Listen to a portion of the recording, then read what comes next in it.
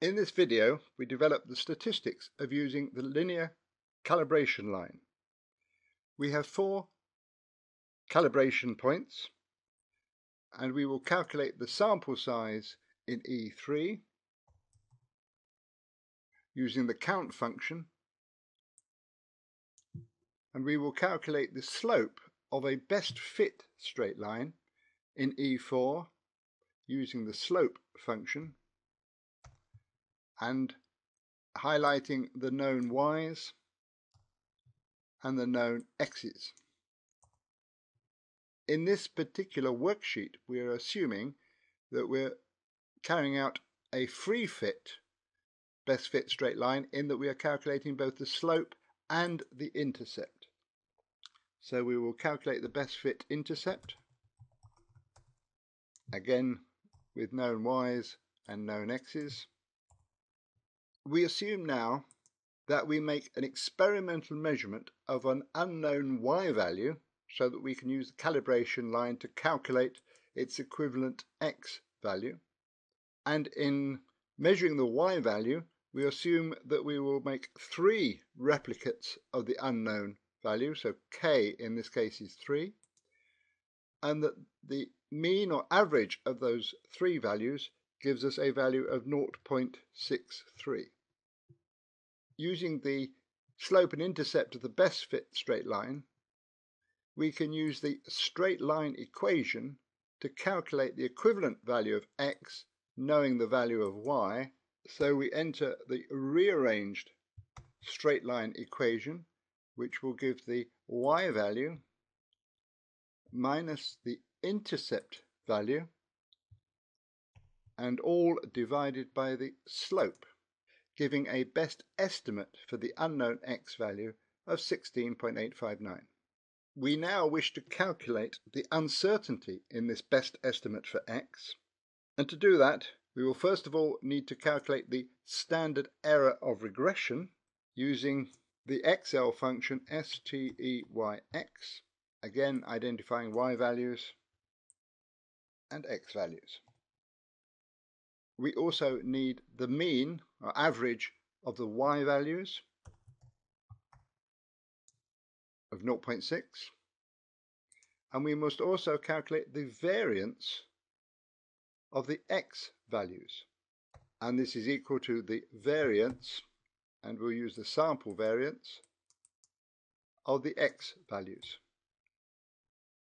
We now calculate the standard error ux in the measurement of our x value.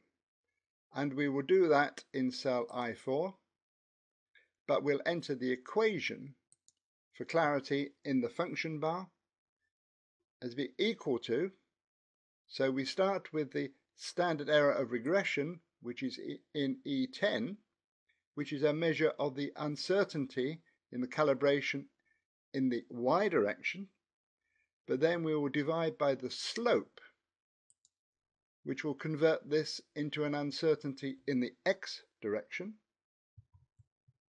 We put brackets round this value and then we need to multiply by the square root and we have to take into account the numbers of measurements made to convert a standard deviation into a standard uncertainty. So first of all we will take 1 over the number of replicate measurements of the y value, which is in E8, and we will have 1 over the number of uh, measurements made in the calibration line, which is in E3. So this gives the standard uncertainty in the middle of the calibration line. But as the intercept moves further away from the center of the calibration line, the uncertainty becomes greater and then we have to add this additional term, which first of all is dependent on how far the measured y value, E7, is away from the central y value in the calibration, E11. And this difference here is squared, so it doesn't matter whether the difference is positive or negative. And then this is divided by the slope squared, the power of 2, which is multiplied by the number of degrees of freedom that we have for this uncertainty, which is the number of data points minus 1, and finally multiplied by the variance in the x value. So this gives our standard error in the value of x. We need now to multiply this by a t-value to get the confidence deviation. This is given by a two-tailed t-value.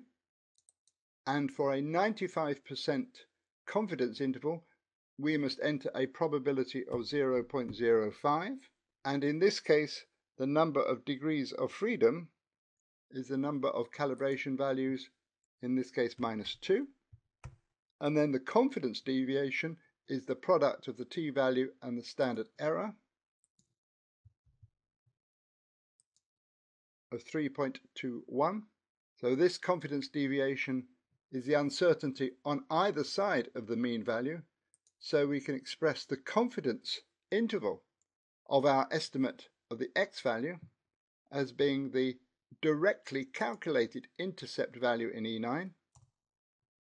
And this is going to be plus or minus the calculated confidence deviation.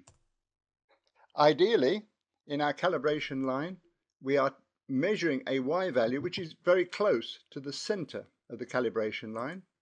And this means that in our standard uncertainty formula, this term at the end of the square root brackets is no longer applicable because E7 and E11 are very close together. So this means that we could just take the first part of this equation and use it again to give an approximated value for the standard uncertainty assuming that the intercept occurs in the central region of the calibration line. And in this case, we would use the standard error in E5 rather than the standard error in E4. In this case, this gives a simpler calculation for the standard uncertainty. An alternative possibility is that we have an exact value for the intercept y value. This would be equivalent to having a very large number of replicates, i.e. a very large k value. And we could repeat this calculation by copying this formula into the next column, but we do not need the 1 over 8 element, which can be removed, and this gives the standard uncertainty assuming an exact value of yx. And recalculating these other values, and we end up with a smaller confidence deviation because of the reduced uncertainty.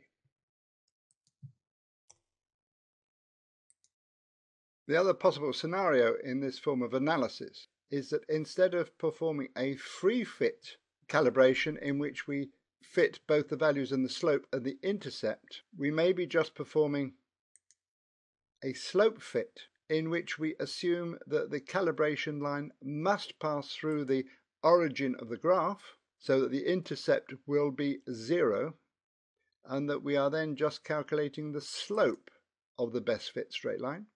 We can do this by using the Excel function LINEST and identifying y and x values and putting two zeros here as additional arguments to define a zero intercept. We can retain the same calculation for the value of x because we have entered a zero for the intercept value. However, we need to change the calculation of the standard uncertainty in that we now enter the distance of the y value, E7, from the origin rather than the mean of the y values, but otherwise this expression is the same, and all other cal calculations are then the same.